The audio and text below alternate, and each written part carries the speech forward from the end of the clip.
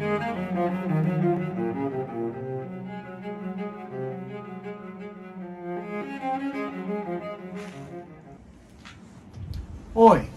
top of the morning to you, chap. My name is George Chaplin, and I'd like to explain to you what a proposal argument is through the use of an anagram. Starting off with the P, it stands for... Proposing P. Yeah, proposing P. Turn me up. Turn me up, P.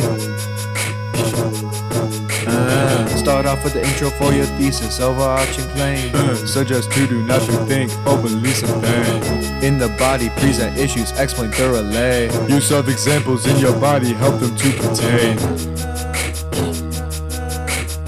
When arguing to suggest, use proposal, proposing P. I propose in P.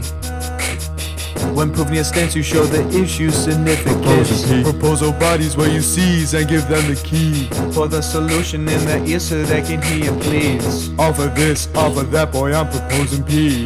Exhort this, exhort that, still I'm proposing P. Proposing P. I'm proposing P. Proposing P. I'm proposing P.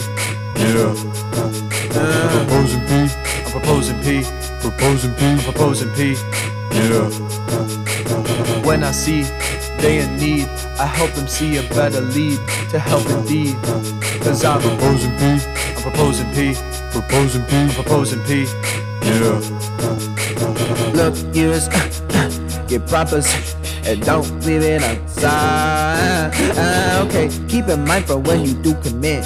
Proposing P. Three things in your body in. Proposing P. Number of bodies depends on you. They do. Wrap it up in a conclusion, the bid adieu. If I well the Betty White that they were so woeful. R.I.P.. I was on my mama watching the proposal. I never, I never urge what I don't wanna stack up. Citations in my cause cause I like the back Of course. No examples in your text I deem with disdain. Yeah. Take the P out of proposal and it's now a name. I'm proposing P. I'm proposing P. I'm proposing P. Proposing P. I'm proposing P. P. Uh, Proposing P. I'm proposing P. Proposing P. I'm proposing P. Yeah.